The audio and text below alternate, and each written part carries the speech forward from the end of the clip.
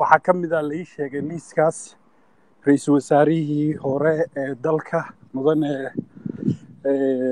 rooble maxamed xuseen rooble marka wax kaloo la leeyahay falanqeeyaasha siyaasadda arrintan meeshan ma ogtahay maaha dee sbacekan iyo sbaceyada iyo twitterka in wax lagu falanqeeya mukhtaar qolol waxaa jira siyaasiyiintu ku jiraan oo yacnihii laska fiirinayo wax kastoo waddankan ku soo kordha yacni la lagu falanqeelayo.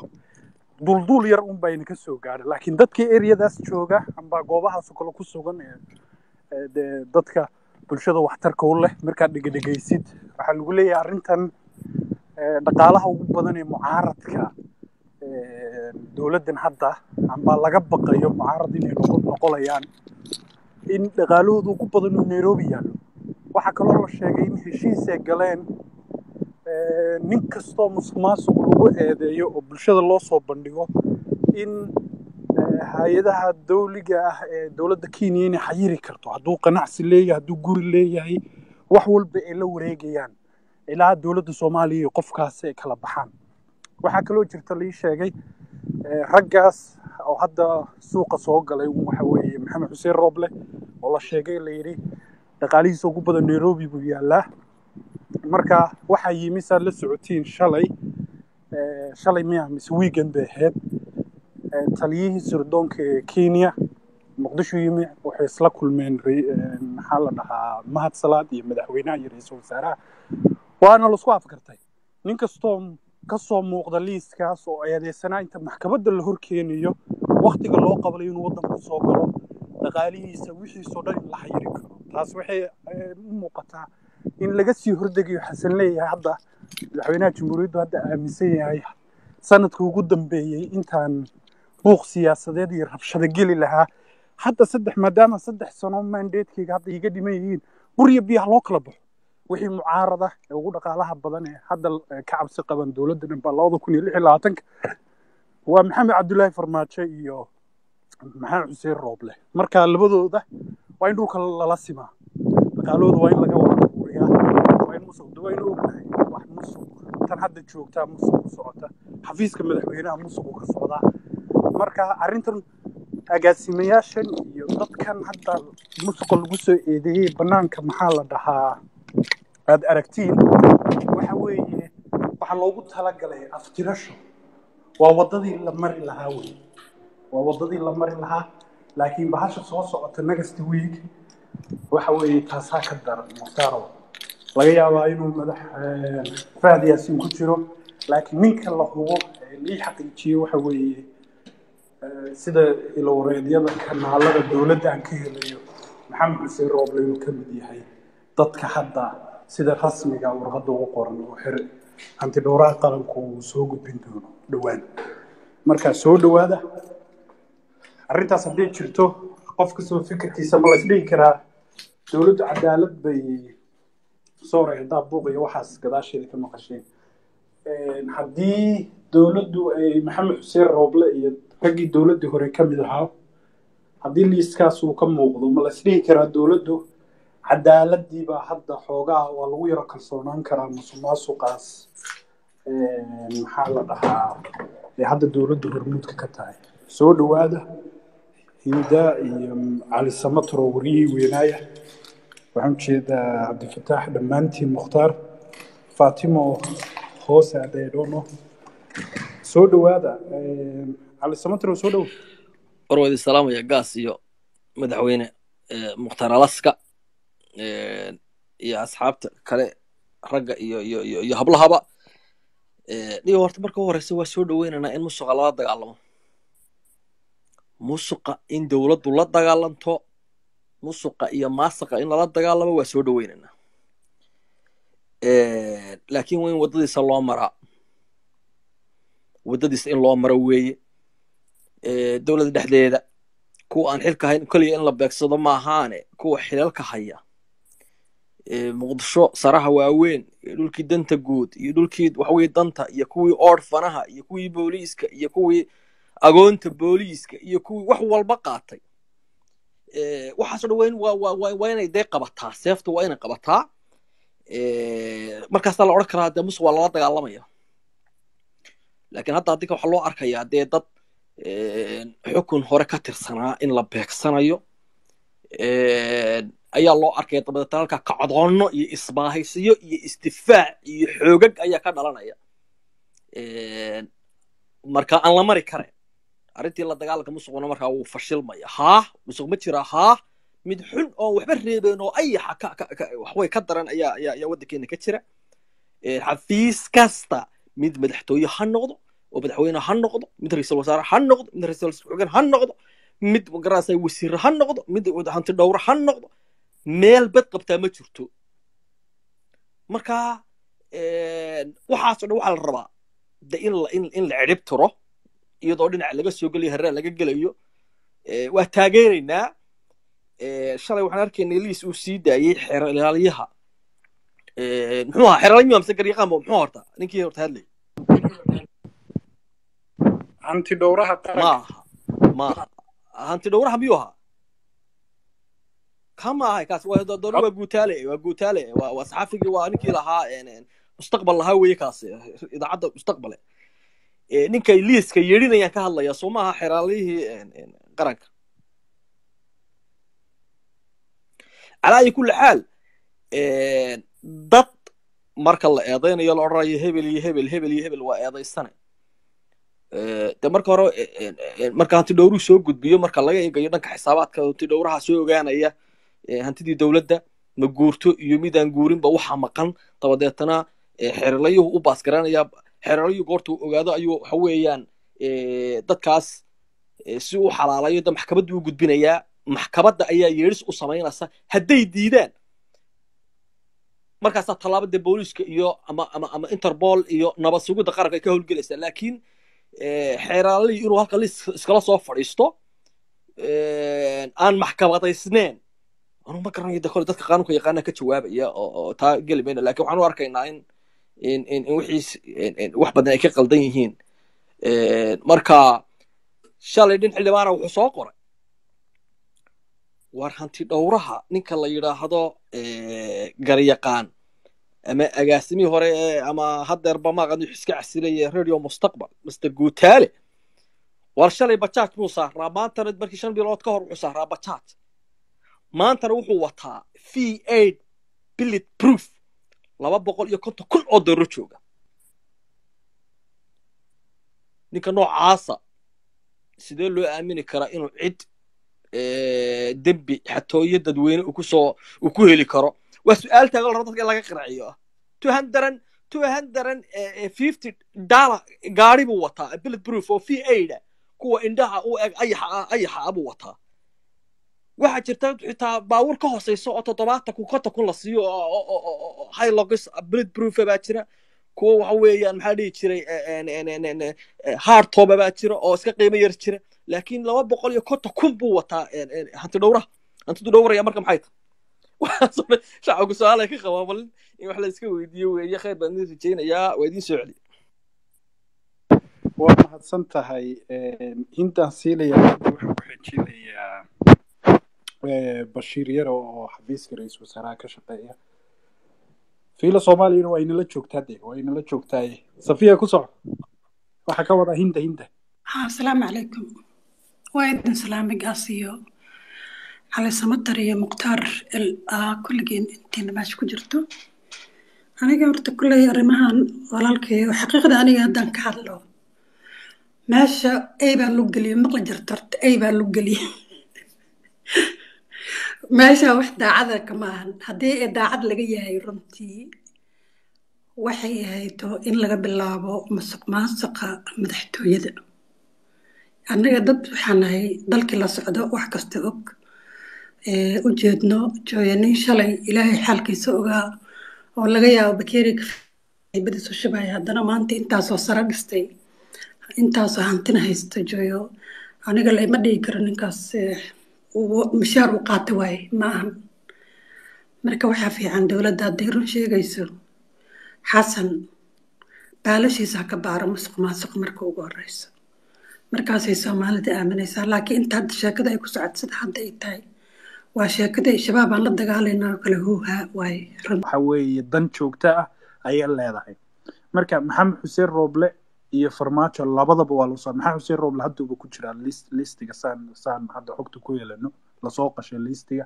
Laakiin eh, maxamed cabdullaahi farmaajo madaxweynihii horena waa ku jiraa way imaalaysaa taas waa qasab iyo fahdi yaasiin marka dee maxamed xuseen rooblena futadaa dhulka ugu dhufanay baasha waa cadaalad farmaajona waa soo gelin waa cadaalad suuna buuq uga imaan. Mii fahmaysaan marka eh, dhaqaalaha ugu badan ee siyaasiyiintuna waxay joogaan nairobi kenya yaallaan sababta taliyaha sirdoonka fiila soomaaliya mahad salaad ula kulmeen madaxweynaha loogu geey waxa weeye dhaqaalahaas kenya yaalla in gacanta lagu dhigo. Ma fahmaysaa? Kadib dowladdan waxay doonto marka ay samaysato. Siyaasiyiinta ilaa afkay qabatay haddii xasan wuxuu taagan yahay intii labada kun iyo lix iyo labaatanka buuq aan geli lahaa haddaan saddex sano haysto maandeeda maan burya bris ha loo kala baxo. Ninkii room baa reerka u soo hari marka hadda waxa weye seeftu waxay u socotaa raggaas waaweynkay u socotaa wasiir iyo agaasime iyo laa waxaas waxba kama jiraan iyo marka saas inaan kaaga jawaabaan jeclahay su'aashaada mukhtaaro Een, waxaan siilayaa geeljiro soo dhowo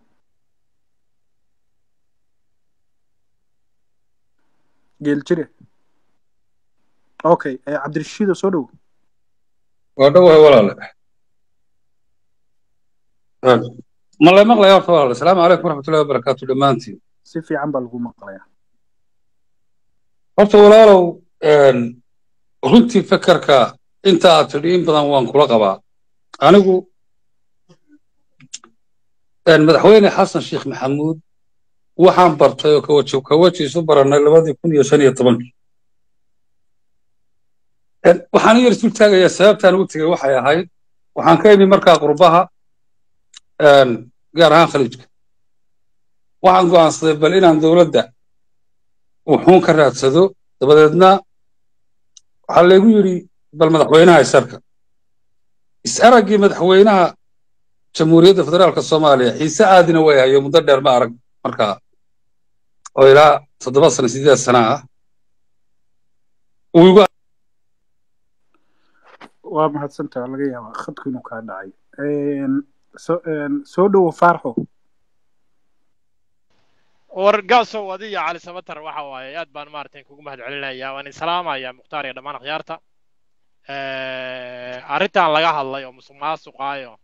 Horta gaasow meel fiican baad dhigtay qaabkaad u dhigtay laakiin anigu aragti aragtidaas ka duwan baan qabaayo. Waxa waaye dowladdan maqla gaasow si fiican baa lagu Ah, maqlaa aragti aragtidan ka duwan baan qabaa waxaan qabaa eh, dalkan musuq maasuqa iyo xilligii horta doorashooyinka lacagaha la kala rogayay iyo dee waad ka garanaysaa wax aad u badan bay ahayd. Laakiin shan- shantii sano oo dalka uu soo maray dowlad eh, hay'addii mataqaanaa i m f ta iyo qolyihii maaragtay muxuu ahaa eh, la soo shaqaysay oo wasiirkeedii maaragtay maaliyadda bailey markuu ka tegey maaragtay noo sheegay waxa bangiga ku jira iyo sanad kastana la soo saarayay maaragtay eh, ninkaan mataqaanaa eh, u ahaa u qaabilsanaa. Eh, eh, muxuu ahaa eh, xisaabka u qaabilsanaa.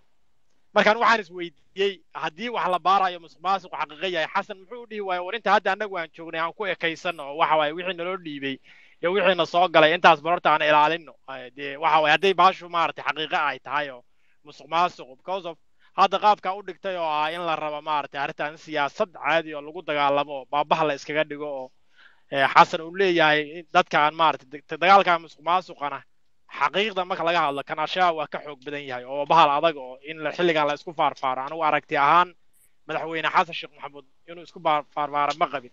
Laakiin dowladdaanu lacaga tiradii ka bataa soo galay lacagii imaaraadka ka mid ahaa ee bangigii lacag baa looga tegey qolyihii hore waxa waaye waxbay soo wadeen.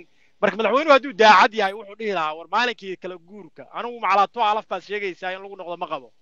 Seventeen muxuu ahaa seventeen fifteen may in laga bilaabo maalinkii madaxweyne xasan qalanka uu la wareegay. Haddii dee sax ay tahay inuu intaa ilaaliyo inaa hay'adahan lala shaqaynayo oo muxuu ahaa lala shaqaynayo oo riboodyada loo gudbinayay waad ogeedeen baylo shan kun oo shaqaale ah hal qofa inaan ku darno looma ogolo buu dhahay. Warbixin waa la socotay. Farxaano een, nuxurka nuxurka nuxurkeenu rabnaa ha marka marka nuxurka nuxurka male waxa waaye mataqaanaa marka waxaan aaminsanahay anigu arrintan arrimo siyaasadeed inay yihiin. Waxaana aysan waxba ka jirin oo maaragtay boor isku qaris ay yihiinoo kuwii ayagu ay qaadeen ay rabaan inay qariyaan. Xaqiiqda marka laga hadlo dee dabcan qaabka wax u socdaan iyo waxbaan fatasheenaa iyo waxa waaye niman dee siyaasadda ood garanaysaa wiilkan dhallinyarada oo hadda soddonka sano jiro oo loo dhiibay xaafiiska xilli mucaarad buu ahaa. Weliba ragga xasan maaragtay waxa waaye ugu dhow. Marka systemkan waa madaxweyne xasan buu ka bilowda waana ku dhammaadaa aragtidan meeshay ka imaatay madaxweynaha siyaasadiisii asago ama dad ha kula dagaalamo ama dad maaragtay waxa waaye ha ku soo dhawayste arrintan kaleo dee aad leedahay dad waaweyn buu la soo wado hadda roobla ku jirana. Dee dabcan waa waa arrin kaloo ayada laftigeeda u baahan markii ay timaado inaan ka hadalno. Marka waxa waaye waxaan wax siyaasadeed waaye siyaasad baa dabada ka riixaysa. Madaxweynuhuna inuu fashil wanaagsanay mid baan rabnaa. Listigu markuu yimaado buuqeedu wuu badalaya waynu ognahay oo qofba meel buu la aadaya laakiin ujeeddadu waxa weeye cadaalad ma u aragtaa musuqmaasuqan si qaabka loo baadayo ma ka hadlayay waxyaabaha haddaa ka soo sheekanay halkan iska dhig. Haddii lagu soo daro maxamed cabdulaahi farmaajo iyo iyo maxamed xuseen rooble cadaalad ma u aragtaa? Waa nooc iyo yes wey waa intaas may may walal walal uma arko. Aniga waxaan u arkaa waxay tahay qofkii muwaadin oo la eedeeyo dalka waxa weye sharci baa ka jira inay dadku maaragtay looyara qabsan karaan oo isdifaaci karaan oo maaragtay ee iyagu sharci laakiin arrintan maaragtay intii lala ordo qofka hadda wiilasha dhallinyarada oo xiran. Ayagoo banaanka jooga dadku way isdifaaci karaan intay dad qabsadaan laakiin dowladdu say u afduubayso oo la rabin maaragtay inay dadku qofka marka la xiro xaq wuxuu u leeyahay tuu muxuu ahaa afar ilaa tisa kuda maxkamad in la geeyo ama uu isdifaaco ama uu looyar hayargaraysto laakiin hal mar baa qof la iska qabanaya. Hadda waraysigii kofi laga qaaday waad dhegaysanaysay xamar haddaan u socdaa buu dhahay dowladdu hadday hayso dadku shaki waxay ka qabaan qof kasta ka qabaa. Systemkan system caddaa lagu kalsoonaan karo inuusan ahayn xaqiiqda marka laga hadlo. Ma ahan lagumana kalsoonaan karo. Cadaaladna ma ahan macala waa problem macala haddii la soo qabta waxa waaye muxuu cadaalad ma ahan. Waa in caddaymo la keenaa marka hore isdifaaca tahay warka kale aynu helanay ilaa shalay waxay ahayd eh, kofi xaafadiisa ciidanka eh, nisa waxay rabeen inay baaraan saa maqlay ciidamaha ka hor istaagay dadka eh, asal ahaan uu ka soo jeeday isaga u dhashay beesha u dhashay oo macuuslaya ayaa ka hor istaagay in la baadho. Arrintaas waxaan u maleynayaa badankiina inaa maqasheen laakiin dowladdu cadaadis waxay dadka ku saaraysay inaana banaanka la soo dhigin sabab eh, amniga daraaddeeda maadaama beryahan oo dhan la dhahayay muqdisho amnigeedu way saxan tahay. Madaxweynuhuna amar ku bixiyey inaanu hub lala dhex mari karin magaalada muqdisho caasimadda saa daraaddeed ceeb bay noqonaysaa dee in nin gurigiisii la rabay in la baadho eh, ciidamo ka hor istaagan arrintaana waxoogaa waa yara fadeexa. Marka laakiin waa dadka muqdisho degan iyo dadka eryada ka dhowiya way la socdaan way ka warqabaan gaasa waxaan rabay. Gaasa waxaan rabay inaan ku daro waan ka arrintaas laftigeeda. Farxaano la waqti waan ku siiyey. Maya maya maya waa farxaano inaadan wa- waqti waa inaadan waqti waan ku siiyey waa mahadsan tahay waa kugu soo laaban noo joog insha allah. Waxba ayna ka degdegin haye eh, soo dhowow en, cali samatro niyahow horta kofi baan dhegaystay wixii anugu musharax baan ahay eh, u taagan. Eh, galmudug iyo deegaanadu ka soo jeedo. Marka ninkaas inuu meel galay baan u malanayaa oo dabada la galay oo beri- beritu uu adeegsanayo uu leeyahay. Musharaxnimadayda iyo hankayga siyaasadeed baa duulaan lagu yahay taasi taa weeye alaska wuxuu ina weydiiyey. War meesha ma laba musuq baa isu baxbaxsanayo? Mid anaa feedho weyn oo baagah iyo mid baa tamar yar meelsha miya filin noocaasa miya yaalla.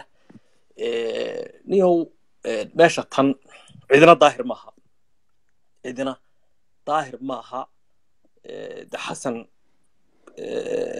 dowladdiisii hore waa dowladdii labaad ee musuq maasuqa markii tii la odhan jiray daakhiliyadda akhirkii xitaa madaxweynihii lagu dilay 1964 mise 1969 miyat mise adu meelahaas xilligaa doorashada 64 baa la doortay cabdirashiid lagu dilay tii labaadda musuqmaasuq ku caanbaxda bay xasan sheekh maxamed tiimkiisii buu meesha la yimi musuqmaasuqa iyo magaxumada u soo jiiday marka isagoo waxaa og in xasan sheekh maxamuud maanta uu yidhaahdo de musuqmaasuq baan la dagaalamayaa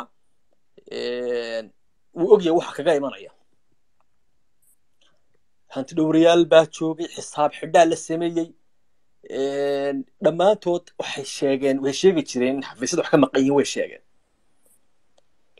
En, laakiin hantida hadda la sheegaya de weligeed lama gaadhin. Hal xafiis ayaa waxa la yidhi koob iyo labaatan milyan oo dollar baa ka maqan. Marka waxay kutusaysaa haddana sida ninkaa hore uu sheegayo farxaan in system hore lala dagaalamayo ayuu muuqanaysaa hadda ninka kan guutaale. Ninaan si fiican u aqaano anigu weeye ma aqaan ninka la gaas inuu yaqaano.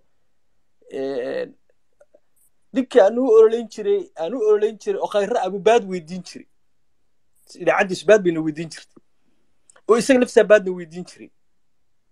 Sidee markaa maanta hanti dhowro noogu noqon karaa? Xaqiiqa iyo factis taalo weeye oo aanaan been ka sheegayn oo maalinta qiyaama anagu soo taagana.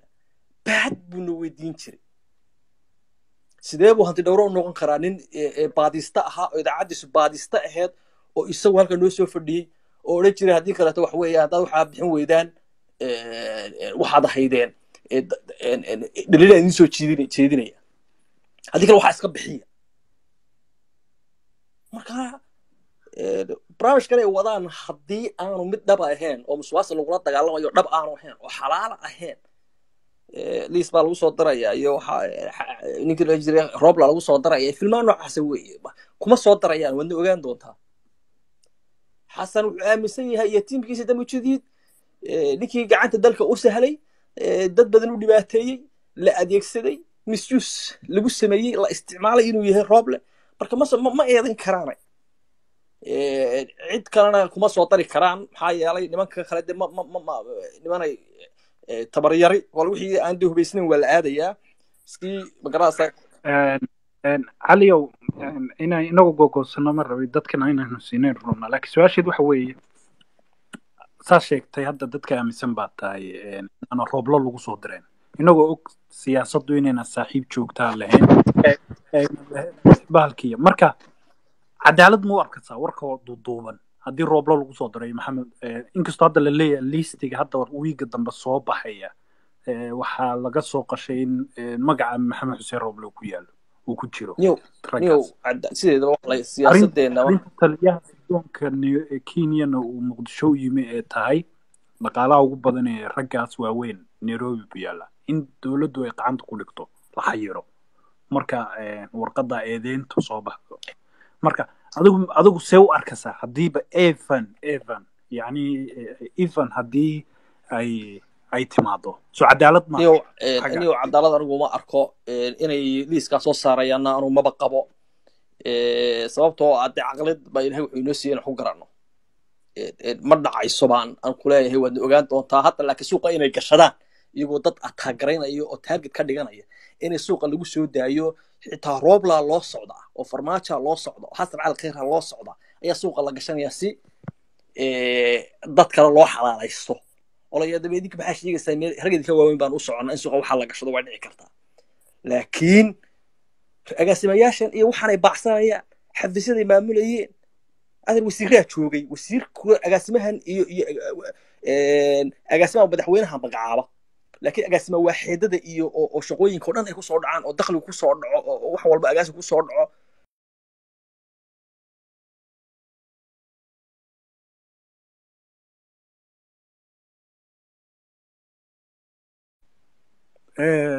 Soo dhowow safiir. Gas waan ku salaamay. Iyo calisamatan iyo dhammaan martida joogto dhammaantiinba niyahow. Isma qabato. Hebelow adoo aan weyse qabin hebelow soo weysayso aan ku tujiye isqaban mayso madaxweynaha waxaa laga doonayaa laftigiisa inuu isagu soo weyse qaato markaasay salaaddu ansax noqonaysaa madaxweynuhu waa inuu xafiiskiisa ka bilaabaa waa inuu ka bilaabaa kuwa ku xeeran xaqiiqda waynu wada ogna madaxweynuhu yuu ku meeraysan agaasimayaal iyo hebel tegey iyo kuwa la jooga wuu wada yaqaanaa madaxweynuhu hadalkayga ku dheeraan maayo. Madaxweynaha intii ugu xumayd isagay hoos joogtaa. Intii dowladdiisii hore dhacday isagay joogtaa hoos joogtaa. Haddii la raadinayo dowladii hore wixii ka shaqayn jiray musuq maasuqa hantida dadweynaha dhacay intuba maanta xasan bay hoos joogaan. Waxaan u arkaa sidaad gaasoo sheegtay arrin siyaasadeed oo dan laga leeyahay. Daacadnimo hadday jirto madaxweynuhu golihii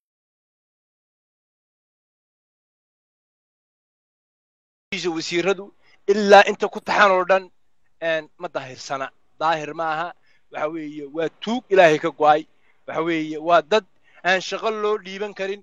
Waa dad ku mamay hantida ummadda. Sidii doorkii hore ee ku mameen bay haddana maanta u dhacayaan. Bililiqada ka dhacday labiyo tobankii bilood ee uu haystay hadda xasan sheekh dee lama qiyaasi karo? Afartiisii sano way ka daran tahay. Madaxweynaha waxaan leeyahay madaxweyne bahasha gurigaaga ka bilow fiiladaada ka bilow wasiiradaada ka bilow waxaa ka bilowdaa agaasimayaashaada ka bilow